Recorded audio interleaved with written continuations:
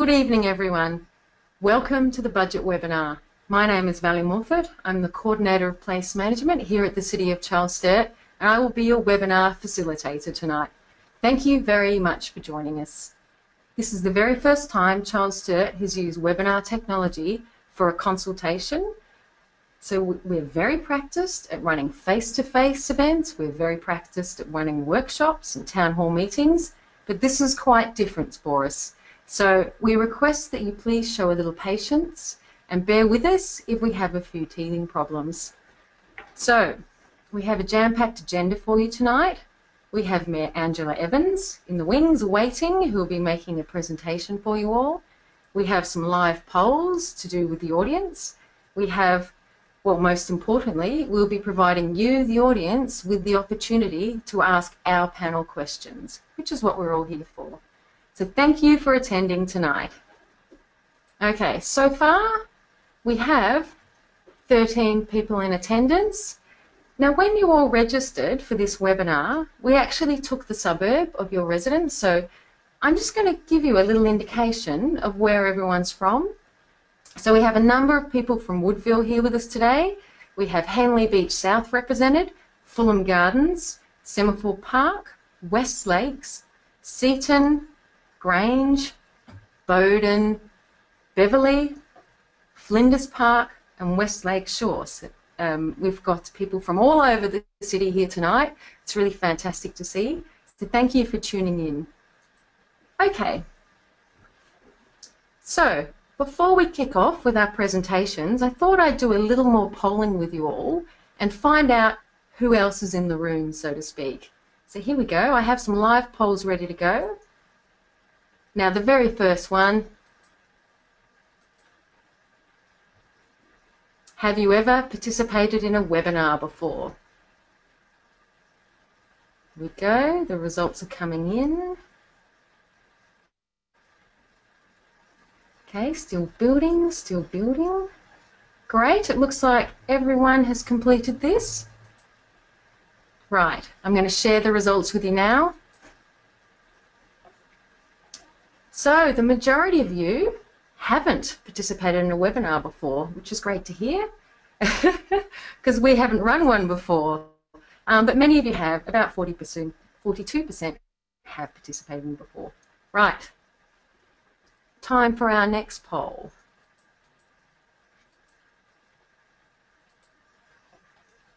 Excellent. We'd like to hear what age bracket you're from so we can have a bit of an understanding of, you know, the diversity of the demographic that is participating with us today. Okay, the results are coming in.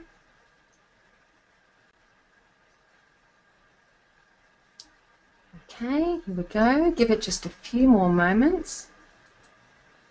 Excellent. Right, ready to share the results with you. So there we go. 70% are in the 18 to 34 bracket, 75 are in the 35 to 54, and just 8%, 55 to 70, and no one is above the 70s. Interesting. Alrighty, one more, just one more poll.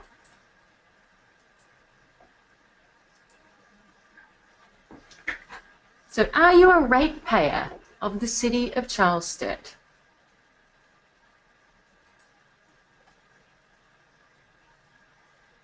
A little more moment, just waiting. Okay, right, time to share the results with you.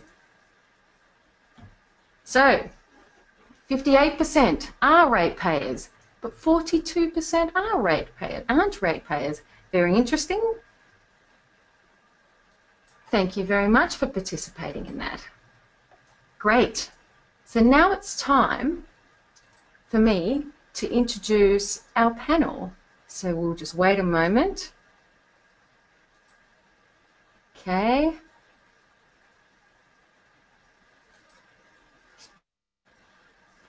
Bear with me a moment. I'm just going to get the panelists up on the screen. Here we go. So, welcome panelists. Thank you for being here tonight. Our first panelist I'd like to introduce you all to is Mayor Angela Evans. Hi, Angela. Our second one is Darren Burbeck. Now, Darren's the General Manager of Corporate Services. Hello. Yeah. So both Angela and Darren will be making presentations, just short presentations for you all tonight. Okay, we have two more members of the panel. We have Jan Cornish, who's the General Manager of Asset Services. Hi, Valley. Hi, everyone. And we also have Bruce Williams, the General Manager of City Services. Good evening, Valley. Good evening, everyone. So all of our panelists, so all four, will be participating in the Q&A session, which we have coming up soon. Okay, so how do you ask questions? You might be wondering that. Well, you can ask questions via the question tool, which is part of your webinar toolbox. So if you have a look at your toolbox and find the question tool, but you can also ask questions via social media using the hashtag budget webinar. So that's one word, it's hashtag budget, meet, budget webinar, and please make sure that your social media posts are set to public so we can receive them. Great. Um, when you're questioning, a few tips. It would be excellent if you can make your questions short and to the point. We'll do our best to get through them, or get through as many of them as we can. Um, and also a little bit more about this software. You, the viewer, are in control of what you see tonight. So you can select the windows and you can resize them as you would like, using your mouse, of course. All right. So I'm going to ask Mayor Angela Evans to speak first. Are you ready, Angela? I am. Thanks, Valley. Good evening, Great. everyone. Thank you for joining us for Charles Sturt's first ever budget consultation webinar. We're really excited to be able to consult on our draft annual business plan and budget and to be able to do so in such a new way. We have around 115,000 residents in the city of Charles Sturt and we recognise the unique diversity in our communities as well as join together with our residents to celebrate our common connections.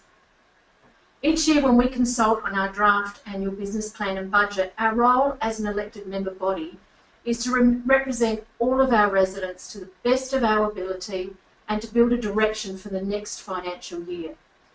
This direction must be one of investing in our community, maintaining the integrity of our many council assets and adhering to the responsible long-term financial uh, plan. We also have considerable assets to maintain, and rather than this being a burden, I feel excited about the way we can invest to ensure we protect our assets into the future. Some of the major assets we look to focus on in, two, uh, in 2016 uh, to 2017 include the footpath renewal program called Pathways to Prosperity. We want to dedicate further funding to increase our current footpath and curb and gutter renewal program.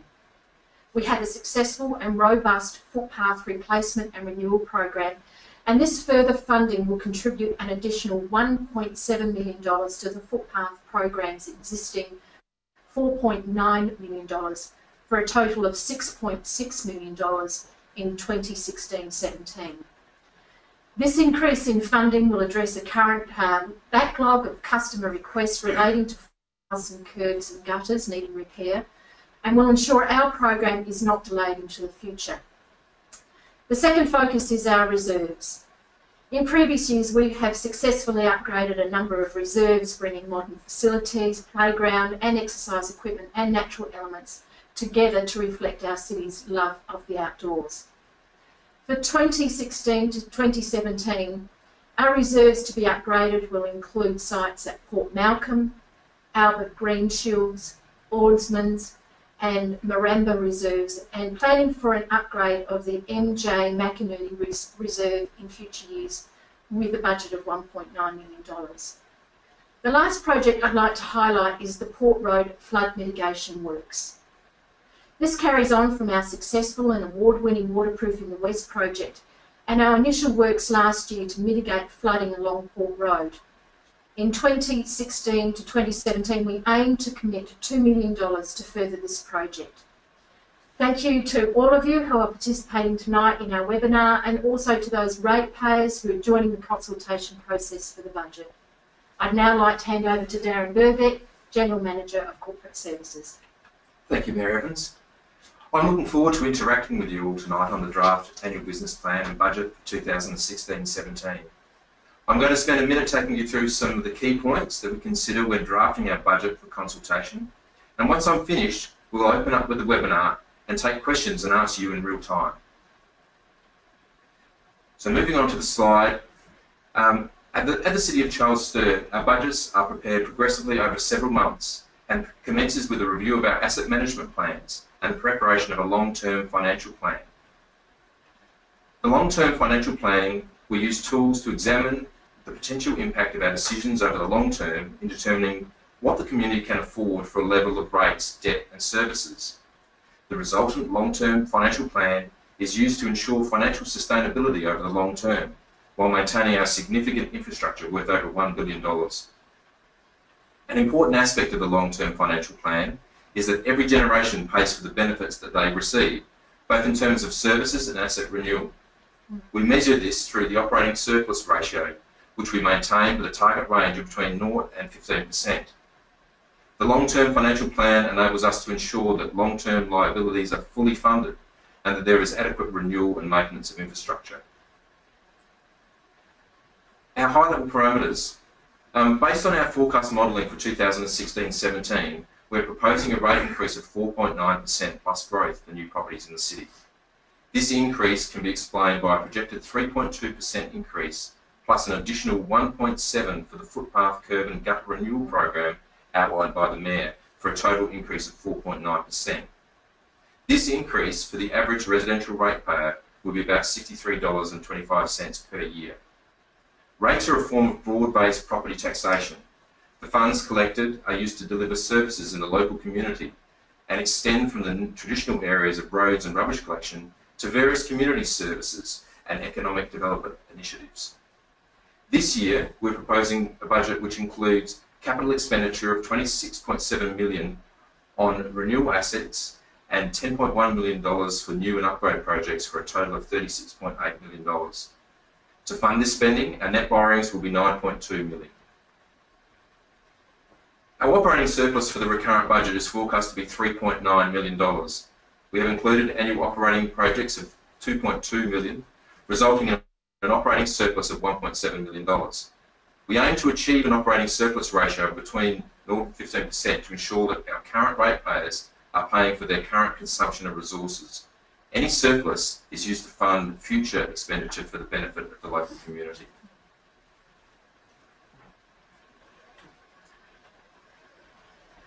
Thank you, and I'll just pass now back to Valley.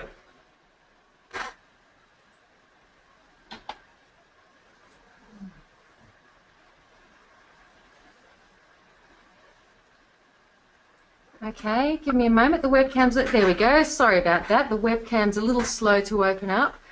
Great, thank you very much for your presentations panel. We're about to start with our live Q&A session. Now I can see that there are some questions coming through. Just another very quick reminder, to ask a question, use the question tool in the webinar toolbox. You can also ask questions via social media using the hashtag budgetwebinar. That's budgetwebinar, just one word. We'll do our best to get through all of the questions tonight, as many as we can within the limited time that we have. Um, but I would just like to remind you that this is a live experience. We have a team of people behind the scenes who are forwarding questions directly to our panel. So panel, are you ready to take your first question? Yes, we are. Yes. Who would like to go first? Well, uh, there, uh, Kay from Grange via Facebook has asked me why is there such a big increase in our area when other councils are not increasing their rates? Thanks very much, Kay, for your question. This is uh, one that I often get around about this time of year. Uh, as we've already said, this increase in 2016-17 proposed for the average residential rate paid will be about $63.25 um, per year.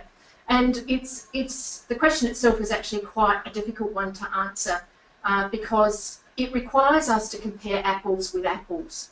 Um, and you know, as a council, we are distinctly different than all other councils around about us. The the um, the uh, expectations of our community in some ways are quite unique, and so that has an influence on um, the sorts of uh, aspirations that we as a council have, and that's reflected often in um, the decisions and the variations that you get in, in the uh, amount of a, of a rate increase, that you see across the um, when it's compared with other councils. So um, I can't give you a particular answer as to why ours is is uh, um, look at appearing more um, uh, um, larger than everyone else, other than the fact that we've got some very large projects that we're contemplating this year. Whether or not other councils are contemplating that sort of uh, asset um, renewal, I, I don't know.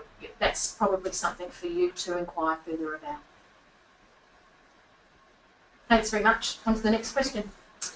Um, I've got a question here from Bren, uh, Brendan from Hindmarsh uh, via webinar.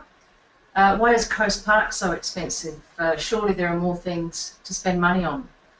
Um, so, for those of you who aren't aware of the Coast Park project, uh, Coast Park is a state government initiative to develop a park, a continuous park, including a shared use path from Sellicks Beach to in the south of uh, the Metropolitan Coast uh, to North Haven in the north, which is approximately 70 kilometres.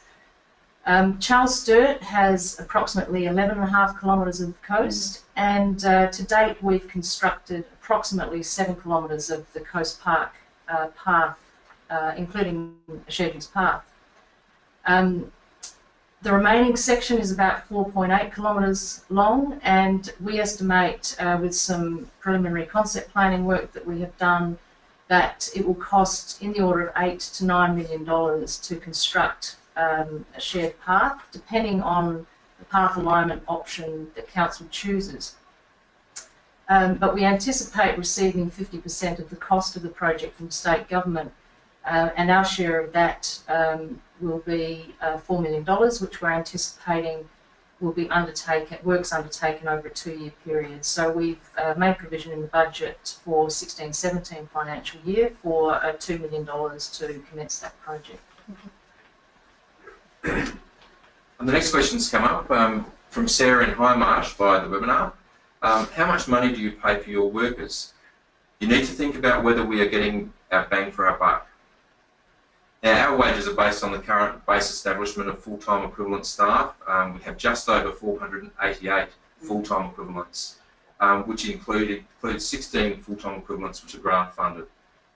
Uh, any changes to that base establishment must be put up as a business case, and we're very strict on that, and a budget bid must go through to a, the annual budget process. Um, wages are negotiated through an enterprise bargaining um, process, like many other organisations. We pay to an award structure and salaries are based on an assessment of skills required for the role undertaken. Well, we can only cut wages to reduce size of the increase if it was negotiated through an EB. I hope that answers your question, Sarah.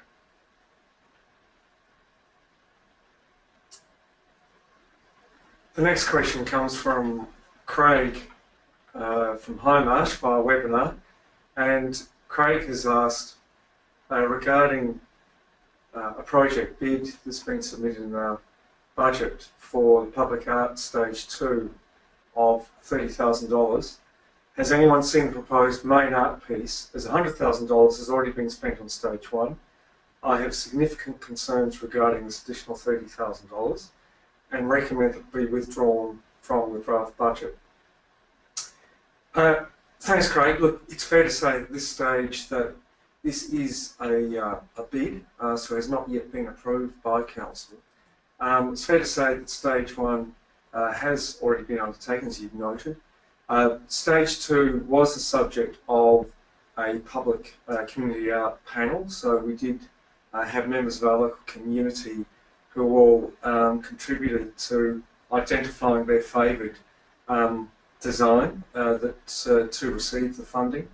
it's fair to say that art, um, public art, often uh, beauty is in the eye of the beholder, and it, it often attracts critical acclaim. Um, so, yeah, it will be interesting to see whether it gets uh, council approval. But of course, as you're aware, um, the whole project um, for the public art is to be funded jointly between Renewal SA um, and, and, council. Um, so it is a, a partnership piece aimed at uh, contributing to the enjoyment of everybody in the public realm. So, um, yeah, uh, we look forward to seeing uh, whether it does ultimately get funding.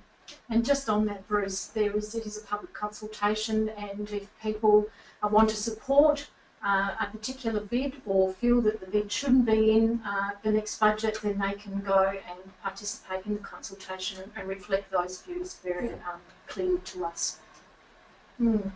Question five um, from Bruce from Findon via the webinar. Why are you spending dollars on going to China when you know residents are struggling here?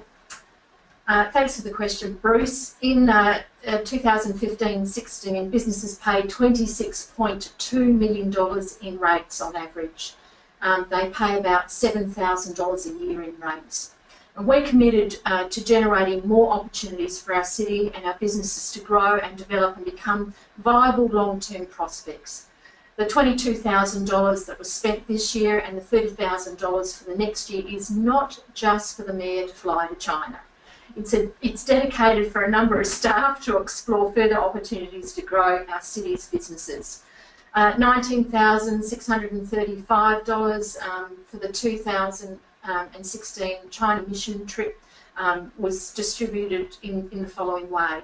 Uh, $10,300 went towards promotional material, um, my costs for travel and accommodation was $3,100 um, and, and it was a similar amount for the CEO staff person, including um, $700 for a travel card to spend, of which I spent $100 for the eight days that we were away. Finally, um, 30,000 um, uh, dollars, 10, um, there was a $30,000 allocation, $10,000 of which for business mission in the upcoming year, um, the costs, uh, once again, for myself will be a third, um, and $10,000 on promotional material and $10,000 for incoming mission when we receive Chinese um, dignitaries. And, uh, you know, the purpose of this is really understanding the Chinese culture and the importance of government to government relationships and the significance of mayors speaking to mayors in order to open up the communication pathways that will ultimately have a direct business, uh, sorry, a, direct benefit back to businesses um, that we expect will have then an outcome um, in terms of uh, the economic prosperity of our city and in fact the whole state. I, sh I should add, uh, Mayor, that um, we understand the value of the latest trade mission is that uh, some of the businesses from within Charles Sturt who participate in that trade mission are close to signing uh, contracts yes. with uh, Chinese companies, which is great for the export of um, products from base, uh, companies based in Charles Sturt. Um, and also importantly, uh, we um, had a aged care consortium of about 13 businesses from within Charles Sturt uh, who um, went to China to actually mm. promote the advantages uh, and the, the range of services that we can provide. Um, given the advanced uh, nature of the Chinese middle class, um, aged care is a real uh, pressing issue for them, and that was received extremely favourably. We believe that the aged care consortium will be uh, coming back with a range of potential um, contracts that are going to be really good for them, um, but greater, uh, more greatly for economic development within our city uh, and jobs and future investment. So they are the sorts of feedback that we are getting back as a result of the trade mission was undertaken. Yes, very encouraging. Okay. Could I just pause you for a moment, panel? We're having a small issue with one of our polls not closing down. So just give me a second.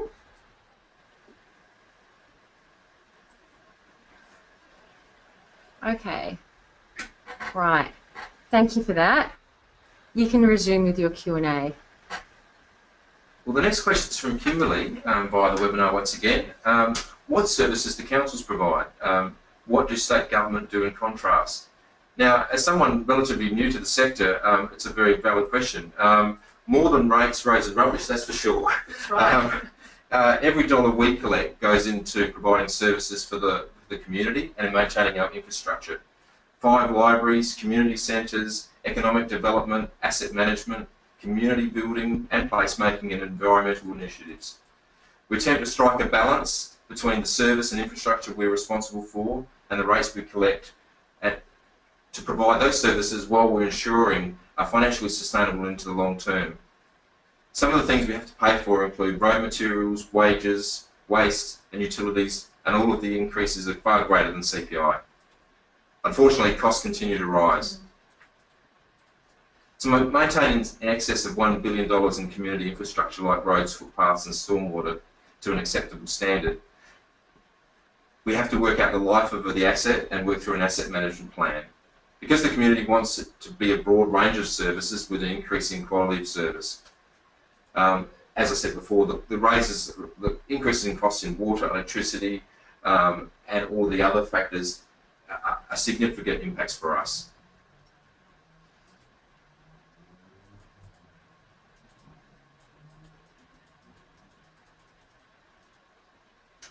We have a question here from Kate via the webinar.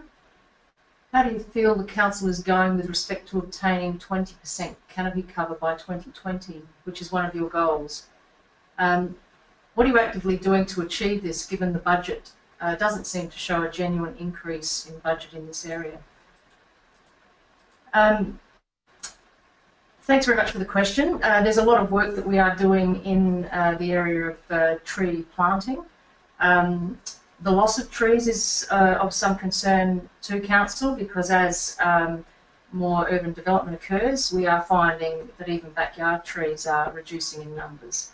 Um, but um, we have a number of uh, projects. The Mayor um, talked about some of them Point Malcolm Reserve and various other reserves uh, next year, where um, not only upgrading of uh, footpaths and uh, playgrounds and those sorts of uh, harder infrastructure assets, uh, but those projects will also see an increase in the number of uh, trees that are planted uh, to compensate for some of the canopy loss.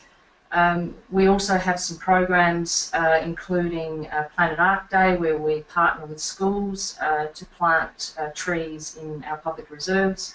Um, we also um, have a Trees for the Future program, um, which is really planting some of those uh, larger trees that we're seeing lost to the urban environment uh, and planting them in the, the reserves where uh, they will have a, a, longer life and be able to uh, grow to their glory.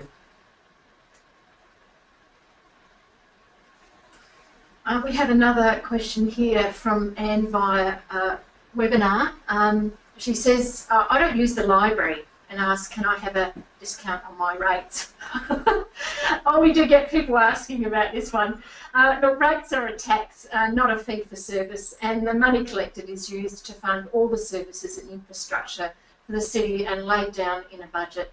I'd encourage you to get out into our community and get excited about what we do offer. Ride along the linear park, visit our beaches, they're glorious our libraries, meet new people, and learn to dance at our community centres. We have so much on offer.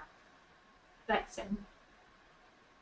I should add too, Mayor, that we have recently changed the opening hours of our libraries to make them more accessible, particularly over weekends, which is when so many people want to access them.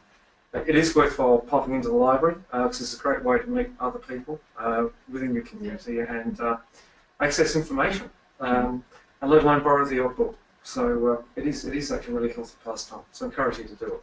We have a lot of really great low cost and no cost activities during school holidays for kids, yes. and I know school holidays now. Yeah. So if you um, have got children at home and wondering what to do, please go to the City of Charles Sturt website where you can get that information. Mm. Mm. Our next question is from Bob in Semaphore, um, and he asks, property values keep rising each year.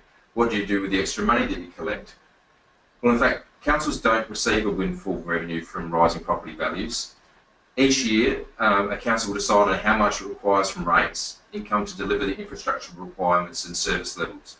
This amount is then determined after taking into account the impact of loans and other forces such as grants and planning and application fees, and then the rates are set. So in fact, there's a rate and a dollar calculation that's performed to um, that doesn't simply go up with property rates. That's a, a common um, a common myth.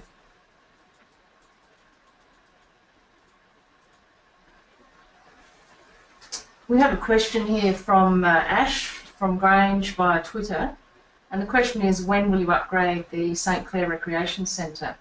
Um, for those of you who have lived in Charles Sturt for uh, some time, you'll know that Ch uh, the St Clair Indoor Recreation Centre is uh, our only council uh, owned and managed facility um, that provides indoor recreation for um, the West the Western region, it's a very significant uh, facility, and it is ageing. It was built in the 60s.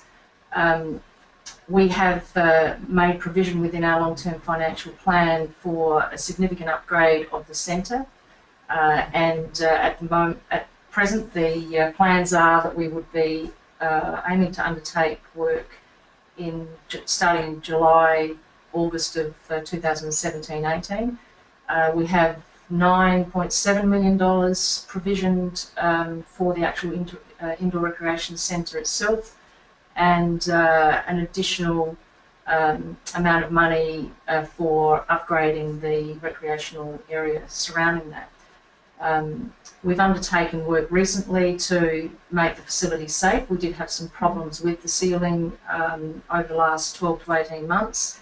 Uh, that's been made safe, and we're currently in discussions with the uh, state and federal government uh, in terms of uh, identifying opportunities for funding from them uh, to assist in um, basically rebuilding um, the St Clair Indoor Recreation Centre and making it the vibrant place that it uh, was once uh, in the 60s. Mm. Excellent. Mm.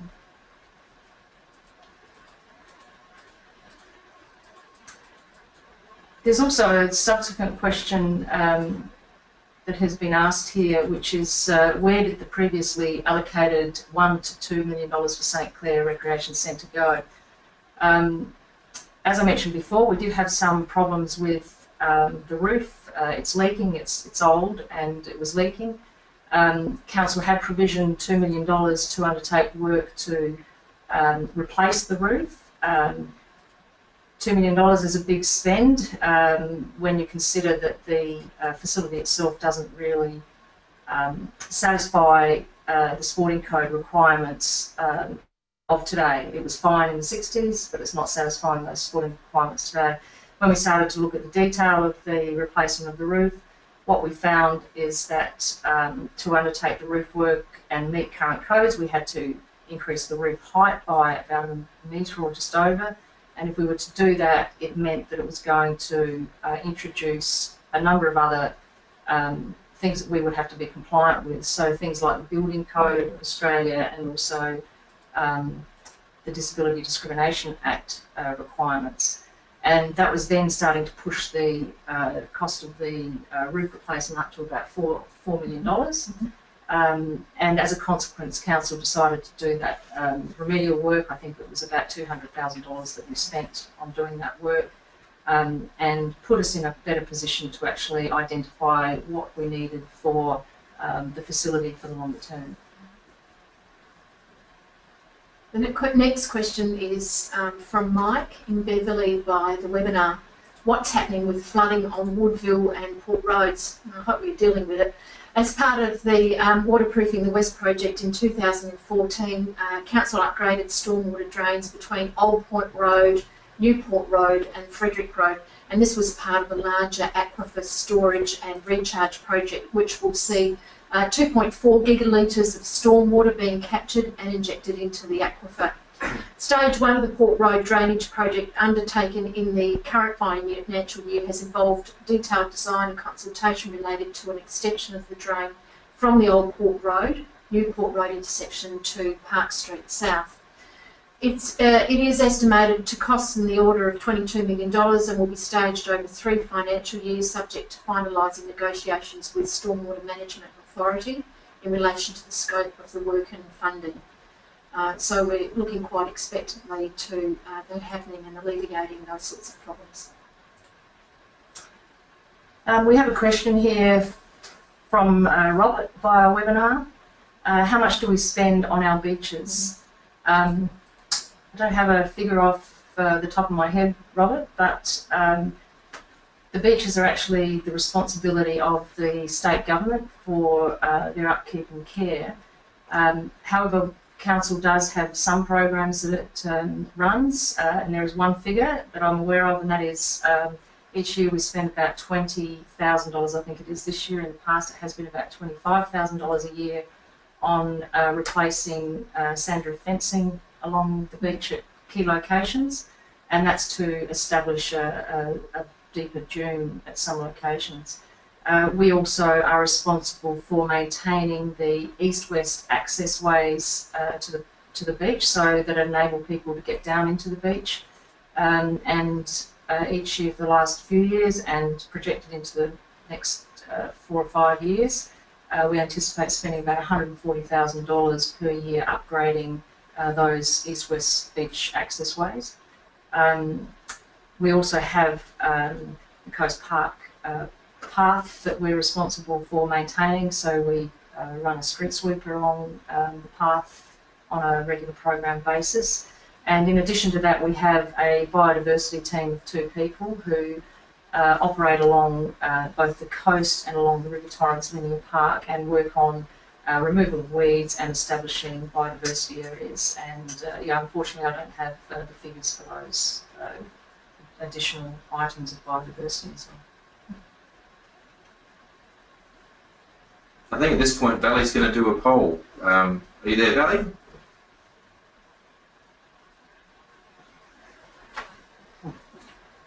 Hi, now I am. okay, apologies for the poll malfunction before. Okay, we're going to try a few more. Bear with me, here we go. Okay. Very interested in hearing from the audience on this one. Have you submitted feedback already on the draft annual business plan? No. Oh, yes, it's creeping up. Yes, it's creeping up. Okay, I'll just give it another moment. All right, I'm going to close this poll. I'm going to share the results. So it's looking like 88% haven't completed or haven't provided feedback yet, but 13% have. Excellent. Right, let's try another one. Okay, this is a juicy question for you all.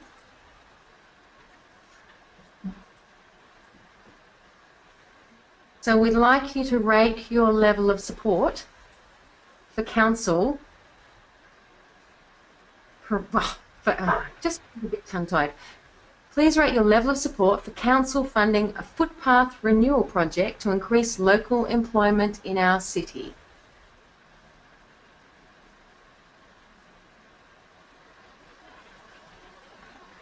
Okay, polls are coming in. Okay, I'll just give it a little more moment, a little moment more. All right. Closing it down. Now I'm going to share the results with you all. There we go. Interesting result, actually. Um, the majority of people, 42%, are very unsupportive, 33 unsupportive. Um, but there is a small amount of support there, with 17 supportive and 8% very supportive. So that's a very interesting result. Okay, we have one more poll for you.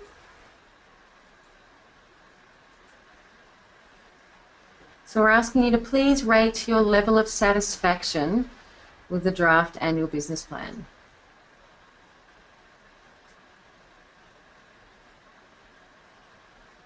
Okay. All right, here we go. That one.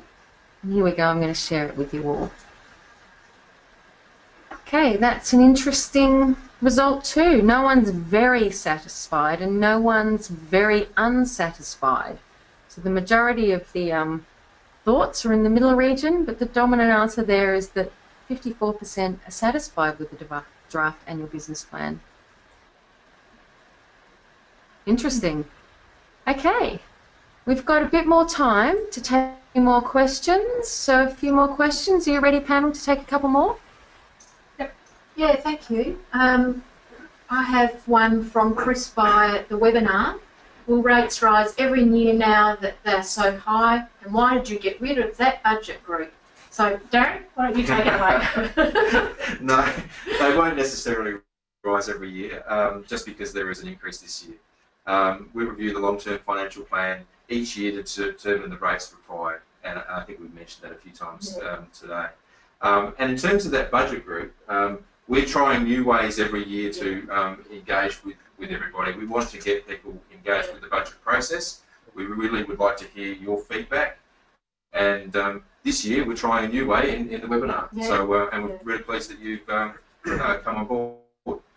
And I agree with Darren. I mean, look, that we're really um, energetic about um, connecting with our community in ways that, um, you know, give us a benefit, but also give them a sense of belonging. We know that community consultation is one of those ways.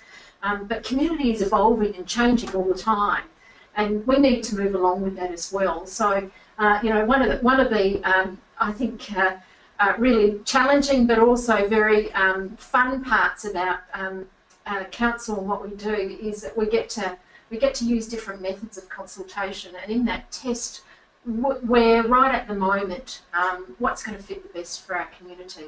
So Darren's right, this webinar is, is one of those tests.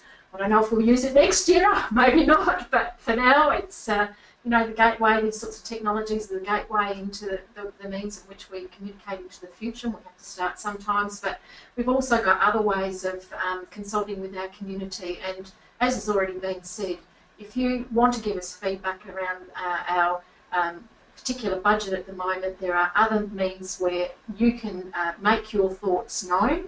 Or alternatively, if you know anyone else that's interested in having some input, please don't hesitate to let them know that uh, currently at the moment we're still in our consultation process and there are a few different ways in which you can participate. Okay, we now have um, a question from Awesome Dude. Uh, and yes, that is his real name, or their real name. Um, and uh, Awesome Dude has asked uh, an awesome question. How do you determine what projects are budgeted for? And um, just for information, uh, as a, uh, a council organisation, we have a long-term financial plan that essentially sets a forecast of uh, expenditure required to um, maintain our, our services, uh, but also maintain all of our assets and infrastructure. And I think we've got a billion dollars worth of uh, assets on our books that need to be maintained. And we're also a service organisation, so that long-term financial plan uh, forecasts our expenditure for about 10 years. Uh, and then every year there's a range of uh, initiatives uh, or budget uh, bids that are generated um, both from staff but also from elected members.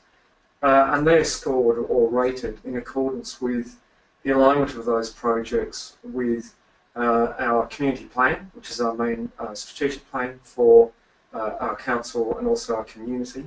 Uh, so based on the amount of points uh, or scores that each of those projects gets or is allocated determines its priority and therefore whether it is actually funded for the ensuing uh, financial year. So um, thanks for that awesome question, and I hope that was a, an awesome answer.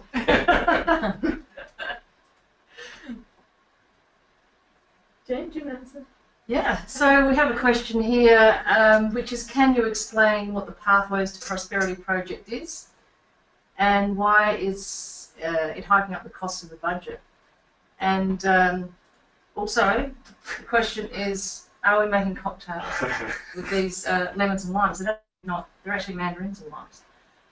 Um, so the Pathways to Prosperity program is um, a program that's looking at um, reducing what we call a backlog of uh, customer requests for uh, footpath maintenance work and also curb and gutter works. Um, and the intent is to escalate that uh, program and reduce the backlog and in the process um, employ um, people to do that. So uh, we've estimated that uh, an additional $1.7 million in the 2016-17 financial year uh, would assist us in uh, addressing the backlog and potentially employ in the order of about uh, 12 uh, people and be able to upskill them in a trade. Um, the you might then ask the question, well, why do we actually have a backlog? Um, we have uh, 1,300 kilometres of footpath uh, within the city. Uh, we have an asset management plan for our paths. Um, we are undertaking $4.9 million worth of renewal work next year. Mm. but the backlog program relates to those uh, requests that we might get from the public to fix and repair a trip step that is uh, in line with, let's say, a, tree root. Um, sometimes as the moisture content of the soil changes, um, uh, the soil expands and contracts and can create cracks. Um, we have a program where we go out and respond to those inquiries. We uh, make good and make safe the issue, and that might be by way of grinding, it might be by way of painting uh, a yellow line to the fact that there is a trip step there. Um, and then if we can't address the um, problem to our satisfaction, then it might be that we need to remove a couple of slabs under a tree, and um, it's it's that it's that component uh, that actually goes on a program and we've got about uh, two years worth of backlog um, of that of that sort of work. Um, and the intent is to try to address that uh, those issues and make our uh, paths much safer for our community. Thanks, Jen. Uh, just to um, run this into a question from Robert. Uh, he asked, the Liberal Party has introduced rate capping. How will this affect our future rates? Um, this is a, a, a proposal that's recent, uh, just recently been put forward, and um, the great concern that it has for uh, me is that it assumes a great deal about how councils um, can actually uh, go about doing their business and delivering um, the services that they do to their communities. Um, it assumes, of course, that um, we can continue to, to deliver the same level of service to our community um, and at a, at a greatly reduced um, cost uh, than what we're currently experiencing. And that if we want to uh, do more than what we what, what the rate capping will allow us to do, then we'll have to go to an independent third party to make that decision for us. Um, that has some huge implications. Um, quite simply, residents um, will not be able to see the, um, I guess, the responsiveness that this council has always had to its needs and um, things like community centres, uh, our libraries, um, some of the infrastructure projects that we do uh, will all be questioned now. Um, sporting clubs, for example, uh, we have, as I said, 115,000 people in our city of Charles Sturt. One in six people is connected to sporting clubs, either directly playing sport or as volunteers. And uh, need facilities uh, councils, this council and other councils directly responsible for the upgrade and upkeep uh, of those facilities, often in partnership with the sporting clubs themselves. Those sorts of things will all, all of a sudden be difficult for us to um, respond to.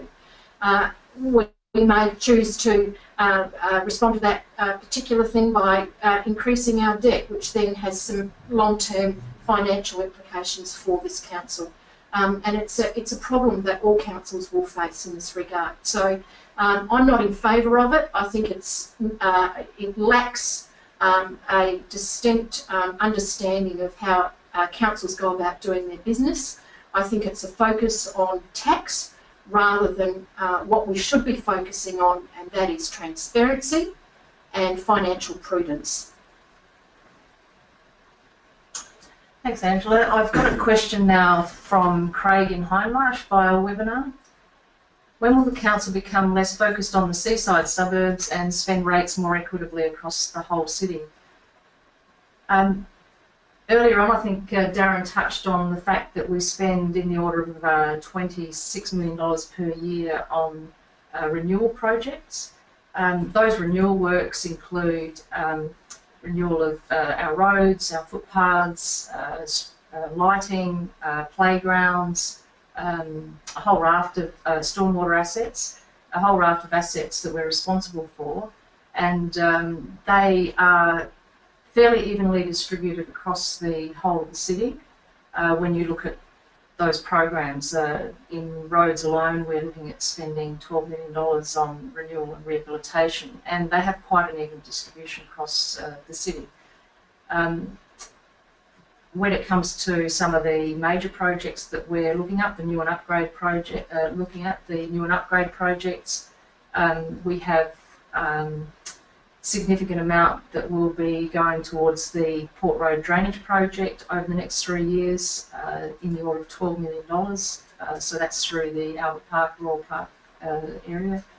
Um, and uh, as we mentioned before, the St Clair Indoor Recreation Centre, we're hoping to uh, kickstart um, in 17-18 financial year. So there's quite a bit that's happening across the whole of the city. Um, and uh, there's also a number of reserves that the Mayor mentioned earlier on, which um, are scheduled to commence in 16-17. Uh, yes, one of them, Point Malcolm Reserve, is a significant one on the coast, uh, but we also have Albert Greenshields Reserve, which is in Ridleyton, uh, Reserve at um, West Lakes, and MJ Mac- McInerney Reserve will be starting to plan for, uh, which is in the West Croydon area. I think. I I should also add, Jan, that we are going to be opening uh, a new uh, community centre in Brompton. Um, that's currently being refurbished. Uh, it should be open uh, around about the June July period, so that'll be something real exciting for us. Yeah, um, and we've got a, a new community centre right in the heart of a, a very growing uh, residential population there adjacent Bowden. Um, and council's also committed last year to building a new uh, library hub uh, in the, the West Lakes uh, area um, in the next two years, so about 2018-19. So there are other uh, social infrastructure projects, quite large scale, that uh, council's committed to. They're going to be available for the community, community over the next couple of years. Great. I'm going to have to. I'm going to have to cut in a little here, panel, because we're actually reaching the end of our time. Uh, thank you very much to everyone who has asked a question tonight. Um, you know, I was taking notes, and there was actually some unexpected themes that came through um, in my little notes. Um, so rates was mentioned, Coast Park was raised, flooding in Port Road, St Clair Rec Centre, um, arts projects in Bowden, the tree can- canopy question was one that stood out for me. Questions around the beaches and equity amongst the suburbs, which was excellent. I'm really surprised by the breadth of the questions that have come through and impressed actually. But my favourite question, I have to say, my favourite question of the night that came through from Awesome Dude was Are we going to make some cocktails with the limes and lemons? which are on the So, anyway, some really important themes came through, not just jokey ones. Um, the important thing is that the community consultation is still open on the annual business plan, so it's not too late for people to submit their feedback online. Well, not just online, but also in person. So we have uh, the annual business plan, the draft annual business plan, and paper surveys available in all of council's facilities. Um, so you can go there, complete a survey. We also have online surveys, we have discussion forums and online Q&A available on yoursaycharlessturt.com.au. So that's yoursaycharlessturt, one word, .com.au. Okay, uh, if people would like to make a deputation at a council meeting, you can do so at the 9th of May, but you have to book that in. So go to council's website to do that. And uh, we're accepting feedback right up until the 10th of May. So you have a good couple of weeks to submit your feedback, everyone. Right, it's nearly time for our webinar to close. Uh, Angela, would you like to say a few closing remarks? Just that I um, am really delighted that um, the um, participants in the webinar, not just the staff, but also those people from the community have taken the time to join us in this journey, um, which is, is new for us all. And I think at the end of the day, uh, your wrap-up, Valley, has demonstrated that um, people are um, willing to participate with this, um, give some great feedback, ask some important questions. And I think that at the end of the day, this will be reflected in the decision that we make um, regarding the budget, which is important to us all. Thank you very much. Yeah, and of course, when the consultation closes, that information will go to council. So council ultimately will be um, will be receiving the finalised business plan and endorsing it um, right at the end of this financial year. Great. So thank you very much for those who tuned in. Um, the numbers have gone up and down. At the moment, we've got 17 people, but at one point we were over the 20s, which I'm very impressed about because this is our first webinar, and um, I'm amazed that and and very excited that people were willing to participate. So thank you very much. I've got two tiny evaluation poll questions for you all, so bear with me. I'm going to launch them. So the first one, has this webinar increased your understanding of the draft annual business plan? Okay, results are coming in.